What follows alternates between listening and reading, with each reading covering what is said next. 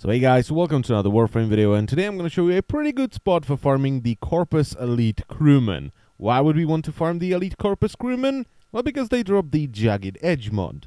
And since most melee weapons are slash based and slash is a very good damage type, this is a very good mod. So where do we want to go? Well, the defense mission Eligor on Europa. Now when you're playing this mission solo, you will get around 110 enemies per 5 waves. And sort of 20-ish of them will be the elite crewmen. And completing 5 waves on this mission will take you 3, maybe 4 minutes, which is pretty good.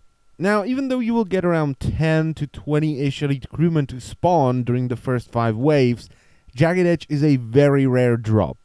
So you will have to do this mission quite a few times to get Jagged Edge. And of course there is a way to increase your chance of getting Jagged Edge off of these elite crewmen. So what you want to do is take Nekros, equip him with a weapon that likes to cut enemies in half, something like the Dragon Nikana, and try to kill them with this weapon.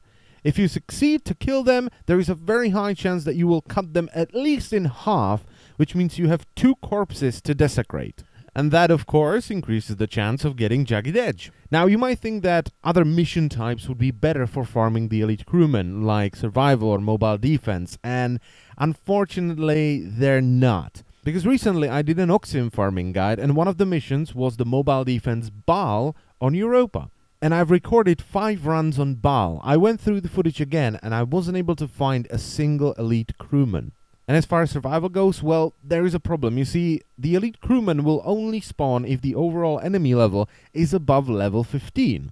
And for some reason, I don't know when this changed. If you go into a Corpus survival that's above level 15, for the first 3 to 5 minutes, you are only getting MOAs and Ospreys around the 3 to 5 minute mark you will start getting the normal crewmen and finally around the 8 to 10 minute mark you will start to see the elite crewmen but they show up very rarely they're kind of like bombards for Grineer.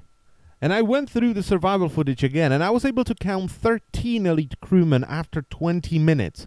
Now, I was using Amprex, so I may have killed a couple of them with the chain lightning effect, but that's still pretty low. And if you do the Eligor defense mission, you will get around 10 or 20 elite crewmen in the first 5 waves. So if you want to farm the elite crewmen, I would definitely recommend the Eligor defense mission on Europa.